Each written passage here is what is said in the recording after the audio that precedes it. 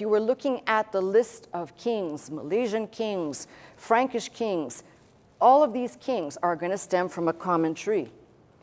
That is enough for me to say if somebody was looking at this promise given to Jeremiah, the promise was not, not made good on.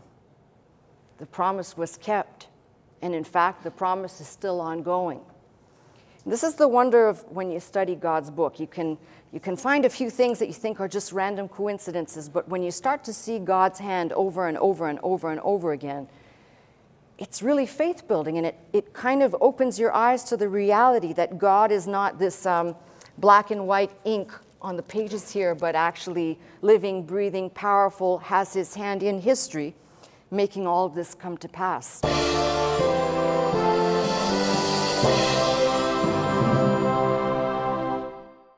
There is less of an ability for us to identify the tribe of Judah, the southern tribe, although we can identify some, we cannot identify all of them, but there's something that we can know. Um, you remember how important it was when Jacob, who is Israel, blesses his children. And in Genesis, he talks about for the tribe of Judah, basically saying that the scepter shall not, not depart, the right to rule, uh, the lawmaker between his feet until Shiloh come, until Christ return. So I want you to think of what was said there, and then something that's said in Jeremiah, which you can read right by it. You can do the thing that I've probably done myself. God is speaking to Jeremiah, thus, for thus saith the Lord, David shall never want a man to sit upon the throne of the house of Israel. Now, did anybody pick up something really interesting? The right to rule, the scepter, right? The right to rule was essentially given to Judah, to the house of Judah, southern kingdom. Listen to what it says here, because you can read right by this. And basically, what it's trying to say is don't think of the word man. The Hebrew word is ish, which could denote ish or isha, man or woman. Um, basically that there will not be a time, that there will not be a seed or a descendant of David sitting on the throne, but read carefully, of the house of Israel. Did you catch that before? Because we can, you know, we can talk about Judah has the right to rule, and yes, there were kings ruling in Israel, but that gives us a huge clue about who these people, when they become royalty or nobility, the sovereigns that are supposed to come out of the tribe of David, that gives us a big clue that they would not be uh, recognizable as part of the Judah clan. Okay? Which basically, and I've referred to this over and over again, will make us look at specifically the English monarchy, uh, British monarchy, and many of the other um, sovereigns that trace their line all the way back. And you have to conclude something. It did not say of the house of Judah, even though that will be, the house of Judah will be, Jerusalem will be the epicenter, future time for all the activity. But it says house of Israel, which there's that clue that says, if we are careful to read this aright, we know that the line descending from David, which is from the tribe of Judah, we did this before. We studied the children that were born to Judah out of the uh, interesting association with Tamar. And out of that union, the children that were produced, which we've already covered, um, Zara and Farah, Pharez, uh, twins in the womb, if you will. And this line is the line that basically bifurcates. A lot of times we tend to look at this subject and we think, well, for someone to be ruling on the throne of David, and I'm just going to not finish the sentence, we automatically think it must be the Pharez line. And the Pharez line is what's chronicled for us when you read the genealogies in the New Testament. That's pretty much the Pharez line. Zara line three generations from First Chronicles, I believe, three or four, and then they disappear. but they didn't die, they just went somewhere else. So it's important to note that when it says that there basically won't be a time where there will not be an individual sitting on the throne of David for house of Israel. That becomes a key factor to identifying when we talk about who are these people. And we trace these two lines. So Zara we saw as a descendant. We started tracing that line, Calcol or Chalcol, um, which we know both Calcol or Chalcol and Darda depart Egypt before the children of Israel go into Egypt's bondage. And we know that they take off and they depart, and we've got a whole chronicle, which I've already told you in many other messages about these two individuals. And let's just say that we can trace them and follow them from Turkey to Greece and onward pretty much until we track them all the way to the farthest far flung land. Ultimately, we're going to end up in the British Isles and Ireland. But the reason why I'm pointing this out is because I think a lot of people think when it says there must be someone sitting on the throne, it's actually a dual happening. It's not just a singular one. There is that which is happening on earth, which I would say is the bookmark, just like I've referred to modern day Israel as a bookmark, and a bookmark only, to save the place until he whose right it is to rule and will rule comes again. And then it will be Israel as he portrays it, not as we would like to depict it or as we'd like it to be seen. And I think if you kind of look at all this, it becomes important to trace these lines properly. So I started going down this pathway of trying to see could we find the terminus on the Phares line, and we do. If you read the New Testament, the terminus is Christ. He's basically, he will sit on the throne here.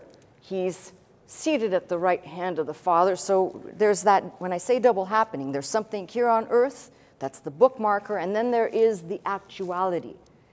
So I think a lot of people get confused about this. For the Zara line. We trace this line and we see it descends. We've got secular kings, Scandinavian, um, Merovingian. We've got pretty much Frankish, you name it. They all come out of that line.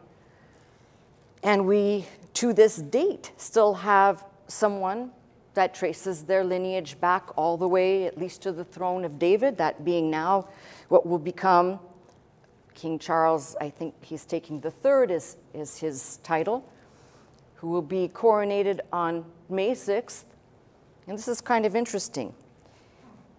He is counted as the 153rd uh, to be um, basically from Adam down to basically hold this position. So 153, which seems to be an important number somewhere. Or if you want, yeah, some of you got that. And then you've got the 40 years, he becomes the 40th monarch to take this position. I thought the numbers were interesting 40 being the complete time of trial, and 153 being that number, that strange number of fishes in the New Testament that are brought up in the net. Who knows? Is there any relevance there? I don't know. we can go on a different sidebar. But the point is that there will still be somebody sitting on the throne who traces their lineage back. And I, that's not to say, by the way, that the English or British monarchy is the only one. And I say that with all due respect because if you read the Old Testament, if you just look at David, David had a lot of women, lots. Let's see if I. He married Eglah, Abital, Haggith, Maacah, Abigail, Ahinoam, Bathsheba, and Michal. And that's, let's see, one, two, three, four, five, six, seven. There's eight that all have children born to them. And then there are another three, six, nine, there's another 10 children who we don't know who the mother is. And talk about problems here identifying. like to take a paternity test. Uh, Too bad Maury Povich wasn't around these days, huh? Um, but it's, it's interesting because we never stop to think could any of the descendants of David that are not in the spotlight, that haven't gained the notoriety of the names, for example, we all know who Bathsheba is, but is it possible that any of the descendants of David, for example, could be sitting somewhere, descendants from these unions? The question is, we don't know, have no idea. It's the same thing, by the way, with Solomon. Solomon's wives and concubines combined makes a thousand women, and I don't think that he was with a thousand women simply with his hands behind his back, which tells you that there had to be children produced there. And we know there were children produced there. The union, Solomon and Sheba, producing Menelik. And I mentioned this, um, I believe, last week that would basically be the line down to Haile Selassie, who claimed his lineage backwards the same way. So we don't know, if you think about it, there are probably a lot more descendants in the line of Judah that we cannot trace. They're floating somewhere out in the world, and probably to our surprise, if we were to be able to take monarchs of different countries in, we'll, we'll call it in another time, generations back, we might find these are the scatterings, if you will, of the descendants, the sons, immediate sons of David or of Solomon. And that's not limited to what happens after the kings that are appointed, as we I previously said and showed you a list of the kings that ruled successively north and south until the final carrying away of the southern kingdom, which basically that line ends with uh, Zedekiah. So here's the question, and, and I start the message this way. Um, in that passage I quoted out of Jeremiah, it basically says, if these things aren't so, then basically the covenant that God's made with the stars in the sky or the sun and the moon are not so either. So basically, God's saying to Jeremiah, this will always be. Now, there are people who would like to just say, well, see, we can't prove anything here, but the reality is we can. And as we've gone on this journey, I think the interesting thing is I've showed you enough through DNA, through archaeology, and I've tried to even pull in some of the things I've always said, even in mythology, you've got usually a kernel of truth that then is shrouded in kind of this myth and mystery.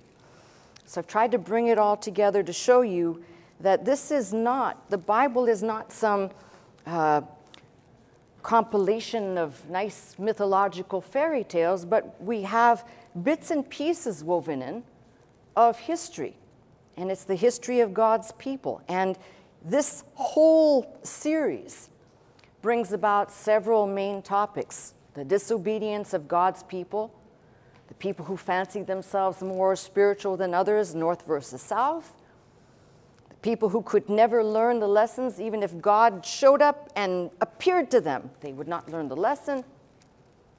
And finally, maybe that God could actually have enough and get fed up with people, which he did. Now, luckily, God is gracious and loving and merciful, and we know from multiple passages in the Old and New Testament that God is not done. He is not done with Judah, and He is not done with the house of Israel. So that gives me hope, especially for those people that say, well, how could I fit into this equation? It gives me hope to say God is not finished yet. And this particular promise that's given, it's either true or it's not. So, this is why I, am trying to set the historical pieces out there for us to follow.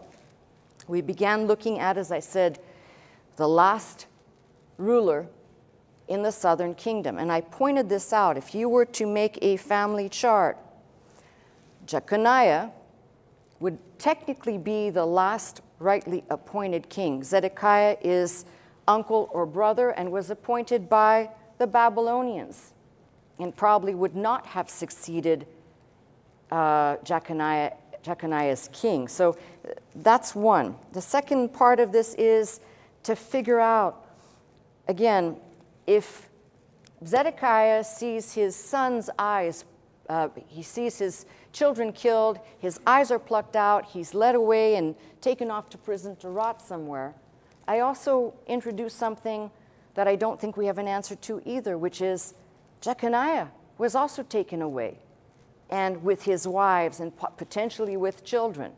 What happened to those people, which, by the way, would have also been a continuance of the line of the right to rule? Do you see what I'm saying? There's a, there's, it's not cut and dry here. A lot of people just want everything to fit in a nice little box and say, okay, it fits. It doesn't always fit. And part of the hardest part of this is picking up, as I left off last week, in a place where, um, like I said, we've, we've believed certain things. And as I've been researching, find out that they're not exactly the way we've believed them. So the, the fantastic story that we have believed is that the aged prophet Jeremiah sails off with Zedekiah's daughters. There is a reference to the daughters of Zedekiah within the book of Jeremiah. I believe it's Jeremiah 41. And they take off along with Simon Baruch, the scribe. Possibly there, according to different legends and writings, there could have been up to five people, maybe more. And supposedly they transported the Ark of the Covenant, um, the Stone of Destiny, and there are other, actually, other items that are chronicled as brought with them. Uh, a special sword, for example, which I happen to believe is where the legends of the, the Excalibur came from, all right, a sword that had power or whatever. So we looked at this last week. And I think I tried to show you with enough evidence and give you enough references from different material. And I really don't care what reference point you're going to use. If you use the Four Masters, if you use any, any, anything out there, you're going to find that the dates do not add up. And I can just say one simple thing here to make Jeremiah Ollam Fodla. He cannot be. Now, I know that some people were really disturbed at that, and I read your messages and deal with it, okay? It's like I was disturbed that Christmas wasn't in the Bible. Deal with it, okay? It is what it is. But the fact of the matter is, it doesn't mean that the whole thing is not true. It means that there is, as I said, usually kernels of truth, and we have to go on a mission to fact find and gather evidence to the best of our ability. I will say this to you, and I want you to think about what I'm going to say. We know that there are two graves purportedly ascribed to the prophet Jeremiah in Ireland. So uh, just think about this. The likelihood of having a grave somewhere, just one grave, says potentially either legend that you were there or you were there, but to have two graves, it's kind of like the two graves of Christ, right? Where you, can, you don't maybe know which one is which, but one of them has to be the right one. I would go so far as to say that safely, yes, Jeremiah may have very well gone to Ireland because I don't know how you'd get two graves of a man who'd never been there. Okay? But there are some issues that I keep bringing up, and I'm bringing them up because we, I put, try to put flesh and blood on the Bible, and I try to make this make sense. So the first thing I want you to kind of take note of is that the date for the fall of Jerusalem, which again, the numbers are all over the place. I say 586, somebody writes 587 or 580, I don't know. There's a little discrepancy in the dates, but I don't care what date, more or less within a year, two years, three years, you want to put to the fall of Jerusalem. If you take the list of kings that I showed you last week, and look on each list for the timeline that would be approximately, if let's just say the date is 586 BC, and Jeremiah, if he actually did go to Ireland, he's an old man now. Figure that the journey there would be a long haul, and it would have to be in close proximity to the date that they either fled Jerusalem or fled Egypt, one of the two.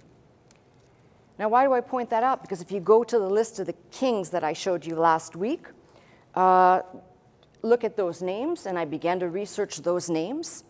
Those are just the kings, okay? That doesn't mean that, that Jeremiah was a king, he's a prophet. But I started looking at the names of those kings on both lists because they fall in different places and started doing research on all of these people at that time to see if maybe they, in their, because they kept good notes. That was really important. If you were a ruler somewhere, you always had a scribe taking down, probably exaggerating your feats, but taking down everything you did. So I started to try and research these people living in this Jeremiah's timeline because it would make sense to me that a king of that day would, would take note of a holy man or a wise man showing up with a couple of people from a faraway land, a big gold box, and a big old gigantic rock, if that's the case. Now, I can tell you this because it, it all kind of begins to come together. The likelihood that Jeremiah brought the stone of destiny is really slim, okay? The stone of destiny made it there, but it got there much earlier than what we've believed. And that part I may have kind of just slipped by you last week, so let me just say this real carefully. It is the son of Chalcol, Gathelus. He is the one that basically, he is not living in Egypt. He will come to Egypt. He retrieves the stone. He may or may not have left with the daughter of a pharaoh. That's another big question mark. But that's where the stone left and was taken. It could not have endured. I'm sorry, there's a lot of things we can, we can fabricate, but from all the material I've read, there's a lot of theories out there that if you start poking at them, they don't hold up. Even if you're trying to do it by faith, it doesn't make sense. So, what we have um, is a lot of information. Now, if you go to the secular records, say, not my favorite, but Britannica Online, for example, it says that Jeremiah died in 570 BC in Egypt. We don't know that. There's nothing in this book that says that, nor is there anything in this book that says that they went to Ireland. So your guess is as good as mine. But I'm going to go back to this and say if there are two graves ascribed to him, there's a very good probability he was there, and a very good probability that one of those graves probably does contain his body.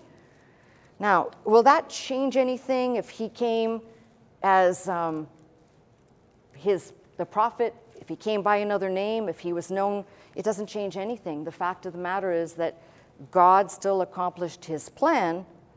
And, you know, for, for those of you that are familiar with the rooting up and the planting, it seems that it would, take, it would have taken Jeremiah to leave where he was to plant once more if you're familiar with the prophecy, uh, which we may or may not get to. So I think it's important for us to kind of keep all of this in mind.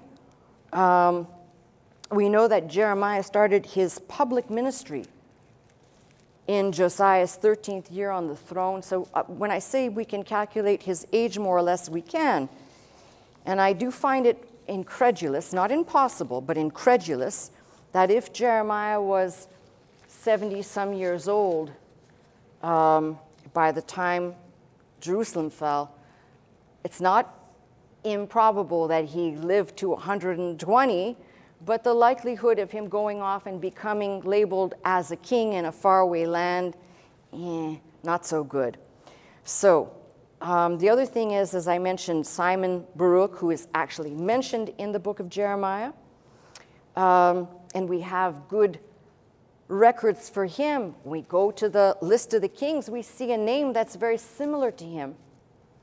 Is it the same person? No. But then again, the people who have conflated a lot of this, there seems to be this drive to, just as I said, make everything fit neatly in a package, box it up, and no matter how sloppy the findings are, to say we found a solution that fits every person's boxes checked and now we can move on. It won't happen like that. So, the thing that we can know, there are a few Irish records that say that sometime around 570 BC, again, all of these dates become sliding, that a holy man from the east came to Ireland. That could be anybody. Could be anybody. But I'll just leave that as an open question mark. Geoffrey Keating, The History of Ireland from the, its earliest period to the English invasion, um, published in New York, 1866, claimed that a person named Nimed, which in the Old Irish, Nimed would be sanctified or holy, but that Nimed arrived in Ireland with 34 ships with a crew of 30 in each ship. This group led by Nimed, and the record says along with Nimed, Stain, Yarbanel the prophet, Anid, and Fergus of the Red Side accompanied him. In the Book of Conquests, Yarbanel the prophet is referred to as son of Nimed. Now, here's our great dilemma. We have a tradition, do you know, and I've talked about this, Mac or O in the Irish tradition is son of, meaning son of. A lot of these genealogies that were written, son of, take very much the same posture as the Old Testament. Son of can be immediate son of or a descendant of generations apart, I cannot say. The one thing we do know is, again, if I was going to try and pierce holes in this, Jeremiah could not our prophet Jeremiah of the Bible could not be the son, the true blood son of Nimed, unless Nimed's name, which in their language, in the Irish, Old Irish, means holy or sanctified, uh, has something to do with whoever he came with. But I'm going to leave that. I'm putting information out today that may or may not have answers to it.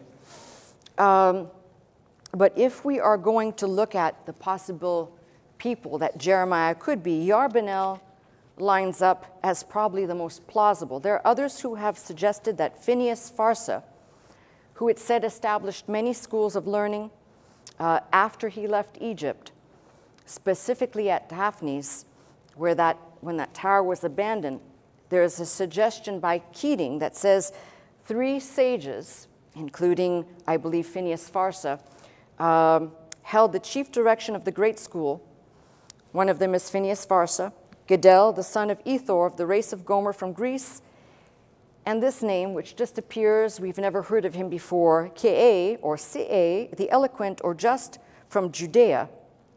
And as you keep reading, it says Yar or Yarbanel, the son of Nimed.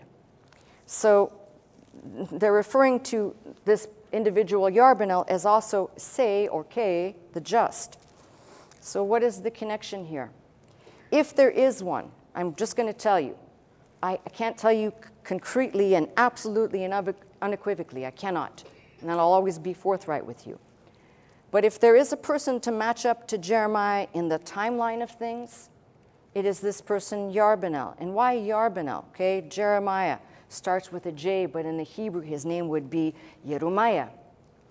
Now you have Yar, like Yer, Yar, his first name, Ban or Ben, son, El of God. Yar, son of God. Is it possible that this is our missing Jeremiah? It's possible. But we won't ever definitively know that. I'm not going to stand here and tell you definitively this is him. I can't tell you definitively who he's not. And I think I established that last week. Um, now, we, I just looked with you this verse in Jeremiah 33 17. And the reason why I think this is so important is because we're looking at descendants from the house of Judah. But the mention here, and remember I told you sometimes house of Israel is referred to as Israel as a whole, sometimes referred to as the House of Israel proper, northern kingdom.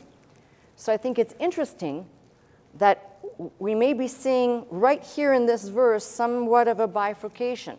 Instead of simply focusing on the Pharez line that stays within the Bible and all the descendants in the genealogy in Matthew's genealogy that take you down to the birth of Christ, versus the Zara line that takes you off to these secular rulers who, by the way, Unless I am sorely mistaken, none of these identified as Jewish. They either became Roman Catholic and known as Roman Catholic, or eventually, after the Reformation, known as Protestants. Period. Or if you want to go with the English, the Anglican Church. So there, there is good reason to analyze this and make sure that we are not missing anything. Uh, when I began studying on this subject, there were certain things I think I mentioned to you in heraldry, in imagery, uh, the animals, all the things. Each tribe has an identification. And a lot of these are kind of added on to a country where these people will essentially land. One of those things, for at least for Ireland, is the symbol of the harp and its use of the Star of David. Uh, on the flag of Ulster also cannot be a mere coincidence. So again, we have this kind of, it's a repetition. It's this flag is, look it up. You can see what it looks like on the internet. Very plain as day. We're looking at a flag that basically takes you right back to the Bible. So um, I think probably the big important message here is from those two children, the scarlet thread, and that line that basically takes us through all of these different kings, um, I think what we come to see is that the Zara line that we know goes to Spain, uh, names places like Zaragoza, and then essentially, the, as we follow the migrations, they end up in these areas where we've been tracking all of the northern kingdom. So you're going to find spillover from the south peppered in with the northern tribes. Try and remember this because this is the thing that it, people get so wrong. They think, well, the tribe of Judah comes back from Babylonian captivity, and those people that came back, which I think the number is probably 42 or 43,000, those people do not necessarily make up, we'll call it the bulk of what would later be known as Judaism. You've got to remember that people are going to come, and I've referenced this already multiple times. The book of Esther says people were converting to Judaism, but that's after they came back from Babylonia. So it's important to remember that all of the people who belonged to the southern kingdom who did not return, better to think of them even though they are line of Judah and we'll find them ruling in different places, better to think of them as part of the northern kingdom non Jewish, because that's how they end up in our history books. Pretty easy to see. Um, the dynastic lines that we've traced, I think we, we started with, when I went down this, we started with Darda, and then Darda, eventually we get to uh, Aeneas, Aeneas to Brutus. Brutus basically uh, comes on the shores of Britain, names the place after him, Briton, Brutus. His name is attached to it. It becomes actually New Troy, as he had come from Troy, becomes New Troy, which becomes London. And it is from this pivotal moment in time that we begin to trace the different kings. Now, what's interesting is I have this little book, Kings and Queen, Queens of England, um, Eric C. Delderfield, and this is kind of really interesting book because what it does is it gives you all of the, I was looking for where this was published. Weathervane Books, 1972. So it gives you each house, for example, this would be the Saxon house and its lineage. And if you've been listening to me, this is where it gets really good because we traced, for example, who are the Saxons. Then you start looking at who is sitting on the throne of this house, who is sitting on the throne, for example, in Mercia. You begin to pick this apart and you can see how all of these fragmented kings that will all have their own respective kingdom, they all stem from this one source that we have been tracing, more or less, all right? So um, why is this important? Because as you start picking apart this history, you find clues. For example, when Brutus was sailing on towards the British Isles, they stopped in Spain. And it says there, four generations born to exiles from Troy were living in Spain.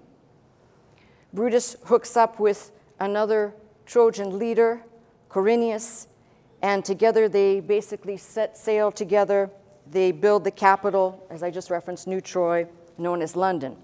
From this grouping, as I mentioned earlier, Scandinavian, uh, the Frankish, Saxon, they all trace their roots. So if you were looking at the list of kings, Milesian kings, Frankish kings, all of these kings are going to stem from a common tree.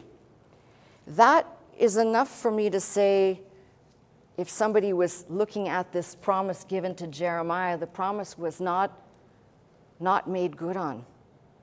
The promise was kept. And in fact, the promise is still ongoing. This is the wonder of when you study God's book. You can, you can find a few things that you think are just random coincidences, but when you start to see God's hand over and over and over and over again, it's really faith building and it, it kind of opens your eyes to the reality that God is not this um, black and white ink on the pages here, but actually living, breathing, powerful, has his hand in history, making all of this come to pass.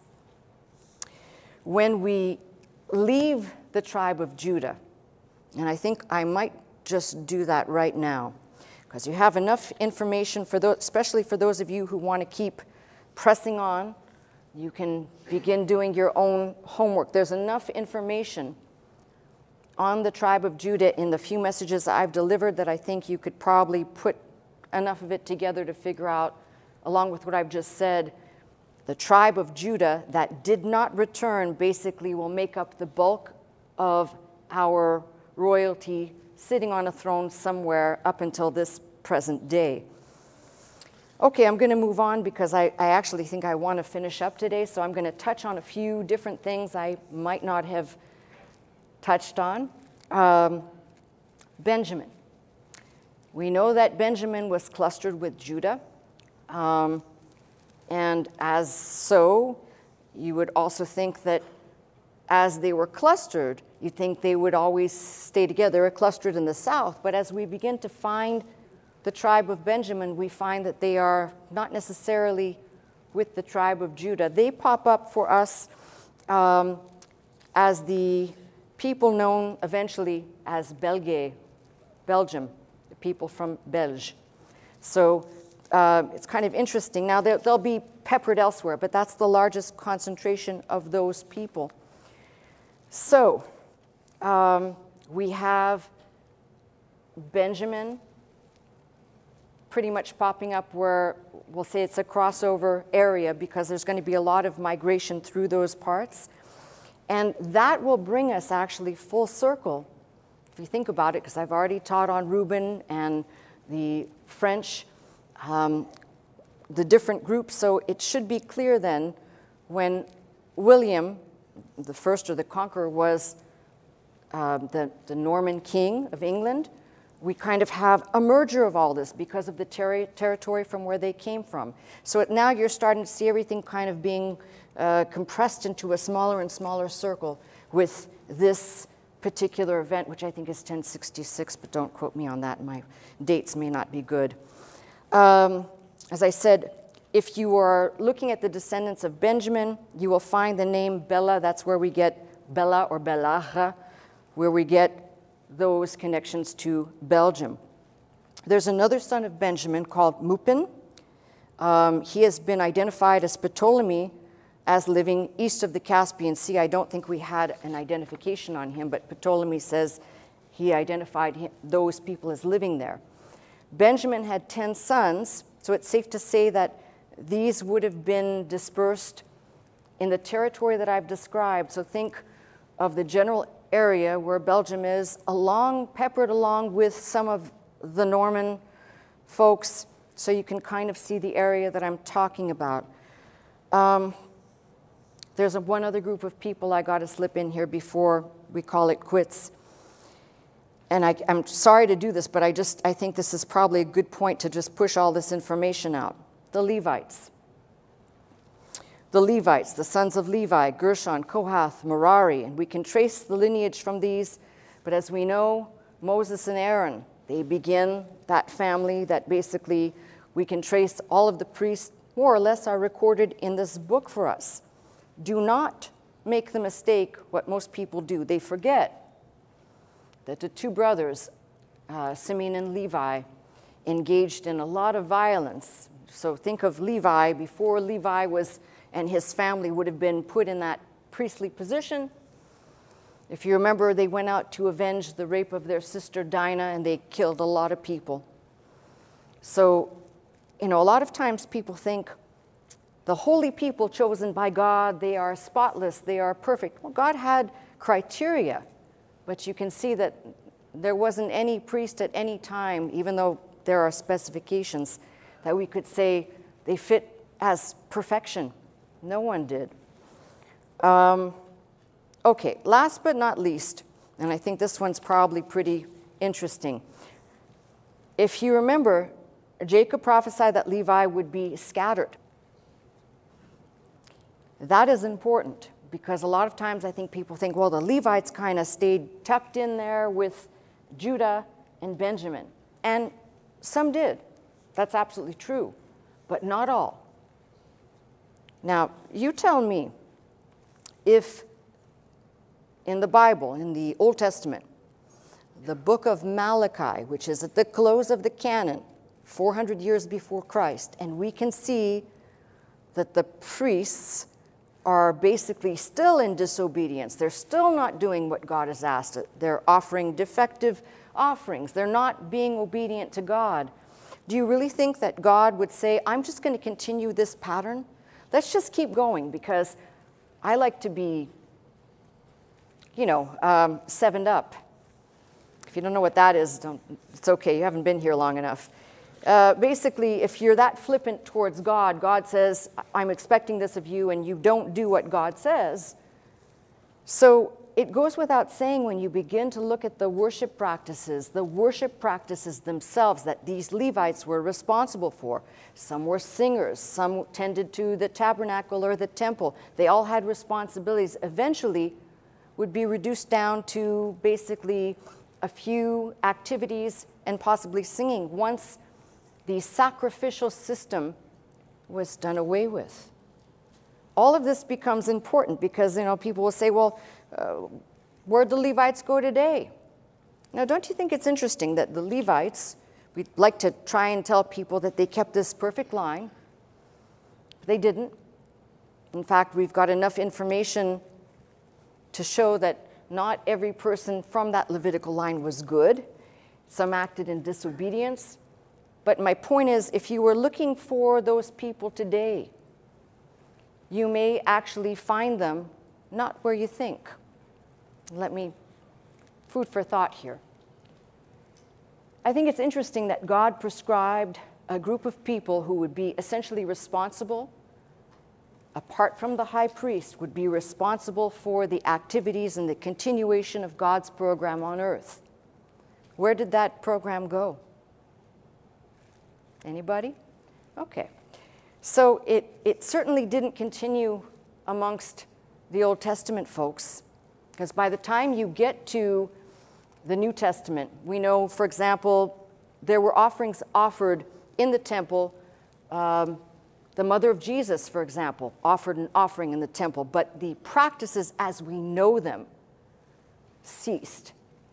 So the question is those people that God raised up for his work, for his service, for his word.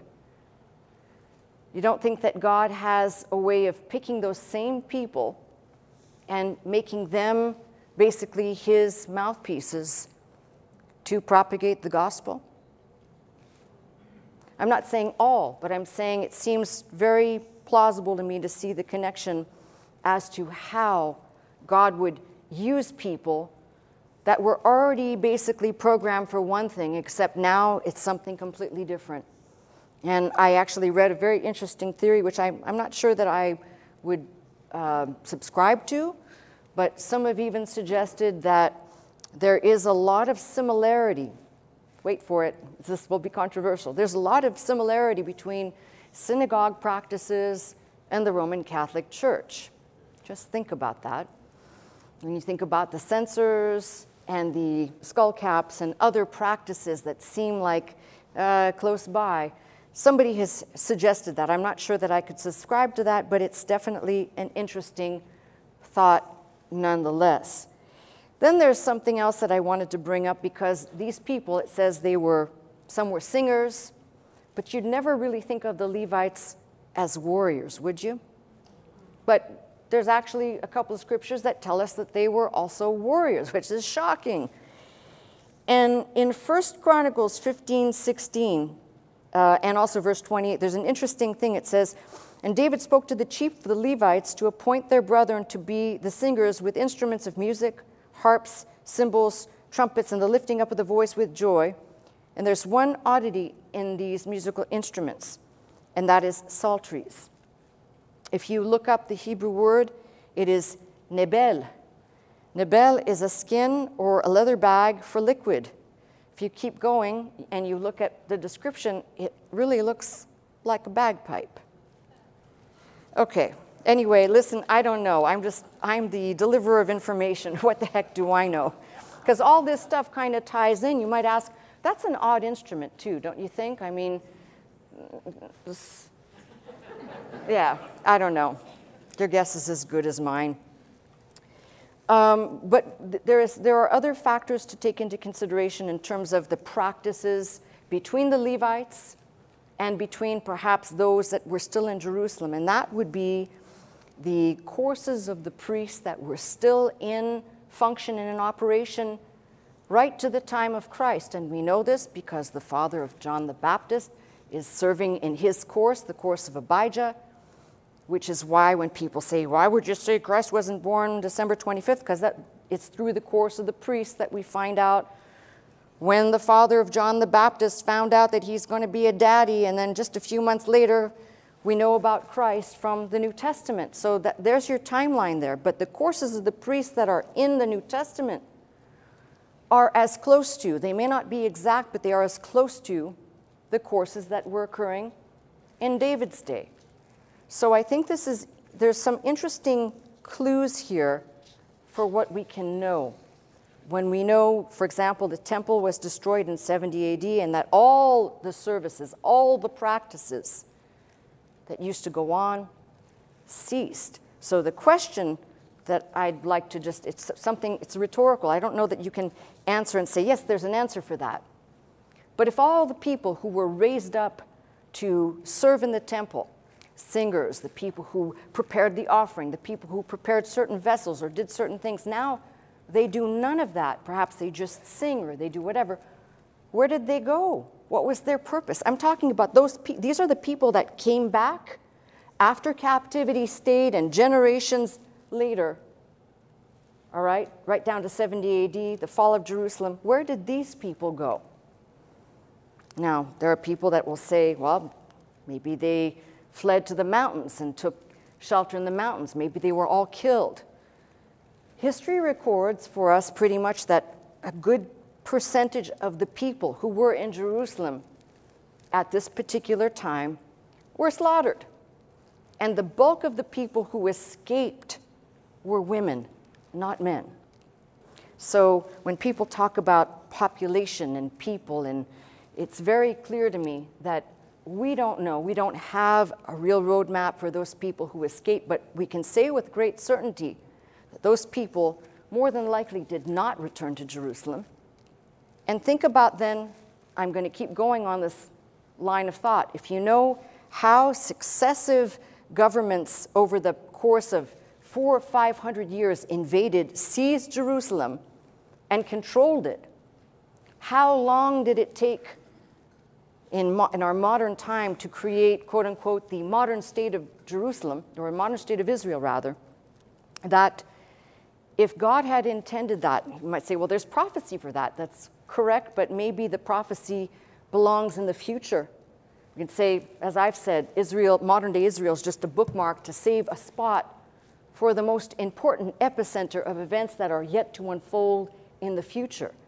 So the reality is, I think all of this series, what it does is it helps me to understand that you can't put people and just say neatly it all fits in a box. We know that the people basically who fled, we, let's just talk about the first wave of people that fled before the children of Israel went into Egypt's bondage. And there were probably successive waves of that. And then you've got the children of Israel themselves leaving and going out of Egypt's bondage into and wandering for 40 years in the wilderness. And if you keep looking at each of these groups, you see that it is really impossible to have this, what people have basically done, which is to say, all of these people, even the people to the south, they still exist as Jews today. And the answer to that is no, they don't.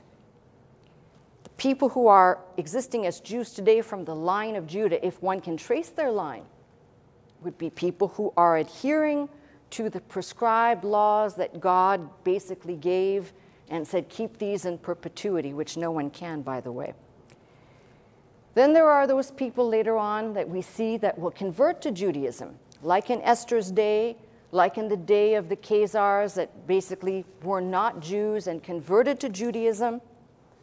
So I think what happens is people like to just put all this together and say, see, all of these people referencing one particular group, for example, uh, the Levites, and they say, well, these people are identified in, in the world today as Jews. They cannot be. Not all of them. A portion of them, yes. A portion of the people of the tribe of Judah, yes. So the question comes up then how does, how does this make sense of how does, how does this all work? You read what Malachi 3 says. It says there is a, a reference between Malachi 3 and Zechariah, Zechariah 12. It says the sons of Levi will be the first to be purified according to what Malachi says. That tells me that God will have the ability somehow to sort these people out, and these will be purified first, and then there's a whole category of people, I guess, a prescribed method God will use. But these are the people, so don't think they've just disappeared. Nor should we think that these people will reappear when God raises them up necessarily as Jewish. I think I have more than proven as we've watched all of these migrations that the vast majority of these people within one to two generations they lost touch of their language, they lost track of their culture. There were certain vestigial remnants of their past that they may have remembered or oral tradition perpetuated, but by and large, as it was said about these people, they would not know, they would not remember who they were, and as I'm saying to you, there is good reason to believe that a good chunk of the South goes with it, goes with the North in we don't know exactly, although we've identified to the best of our ability. So, coincidence says that no matter what, these people would all line up here. We'd have, uh, you know, the, the Levites are going to appear here, and the tribe of Benjamin is going to appear here.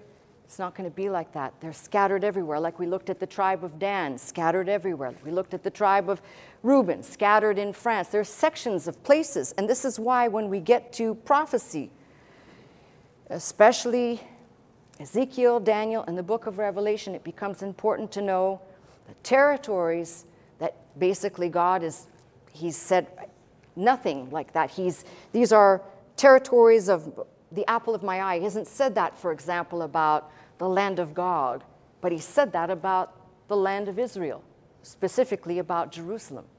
There are certain things we can absolutely know. So if you put all this together, it should do a couple of things here. This tapestry woven from God's book should tell you that God, yes, He will raise up, we will have people from every tribe that will be raised up at the last day. Um, for those people who are worried about how will God know? I think that God can figure that out. If He knows the number of hairs on your head and it says He sees the sparrow fall, I'm sure He can figure this out. And the takeaway from this entire series, not just that God's in control, but I want you to think of the crisis, the drama, the trauma, whatever you've dealt with, let's just say for the last year. And you're just starting a new year, looking ahead and you might think there's so much uncertainty. There's the financial uncertainty, there's an uncertainty of our nation. There's so many different things I can't really be sure of. But if you look back and you see God's control, especially just even in history, in your history, even in the last year, you see God's control that He brought you through.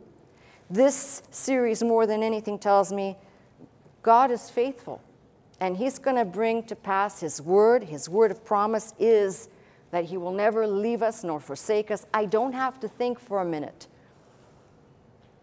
what will happen because God's word I believe is true, and He's given me this certainty. So, for those of you who maybe listened to all this uh, talk on the lost tribes, hopefully, what this does is A, gives you the curiosity to keep digging because there's plenty more to mine out of here. And I'm sorry to bring this kind of throwing the last bits at you like that, but it's kind of time for us to move on from here. And I really think that for those that are uh, desiring to do a deeper study with the materials that I've referenced, and those are pretty good to start with.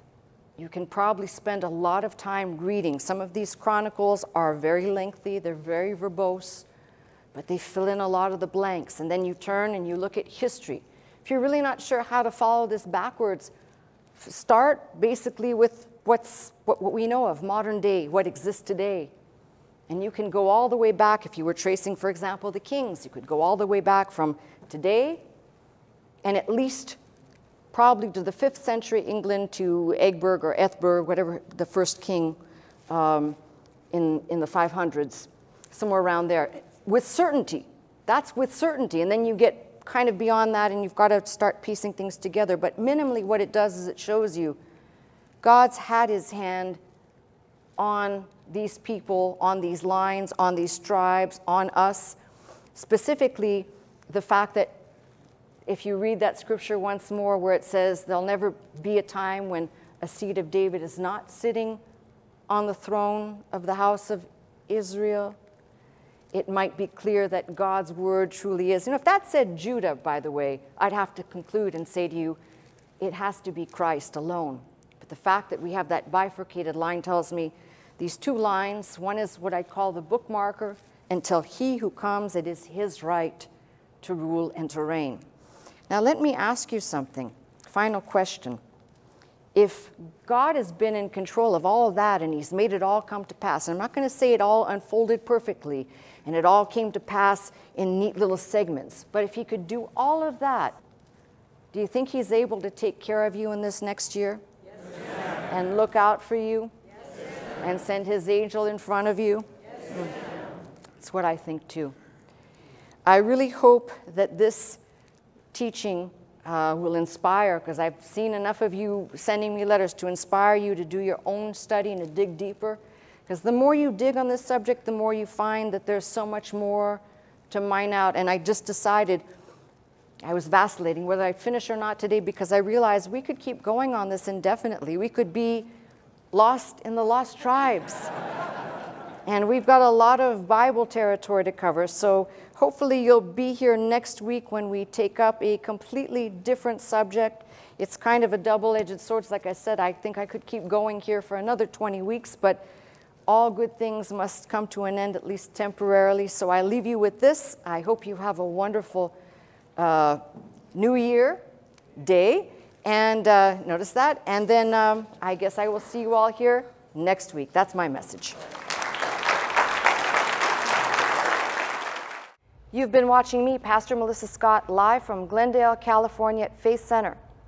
If you would like to attend the service with us Sunday morning at 11 a.m., simply call 1 800 338 3030 to receive your pass. If you'd like more teaching and you'd like to go straight to our website, the address is www.pastormelissascott.com.